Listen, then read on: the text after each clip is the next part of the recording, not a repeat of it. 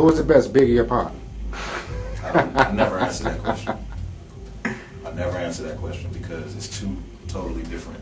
Yeah, it is. It's not a. It's not. You can't really say somebody is better than somebody because it all boils down to your preference and you know what I'm saying what you prefer.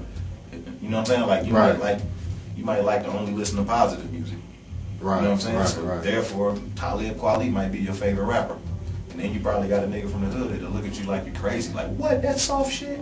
Right, I'm bumping Waka. You know what I'm saying? Right, so right. how can you really say this person is better than this person or this person is the best?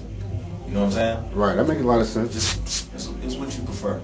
You know, so I try not to get involved in a lot of those arguments because I've seen some of them get heated. You know what I'm Right, right. Yeah, motherfuckers do fight over that shit. Yeah, you know, if I gotta fucking, if I gotta do something to somebody or I'm at risk of somebody doing something to me, I don't want it to be over that. Right. Something so small, you know what I'm saying? So I stay away from that.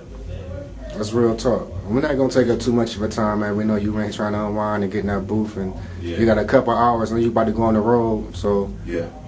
um, what market you about to play? We going to, we got a release party in New York on the 8th. That's what's up. You know what I'm saying? So, and right after that, Cali. All the two biggest markets there is, back to back. No shows in Cali though, just recording. Any last words for the viewers out there, man? This the Thank big. you, thank you for your continued support, everybody in Detroit, everybody around the world. Slaughterhouse, we're not gonna let y'all down. Peace. Royce Shady. by nine, y'all. Team Shady, Team Shady. the real streets of Detroit.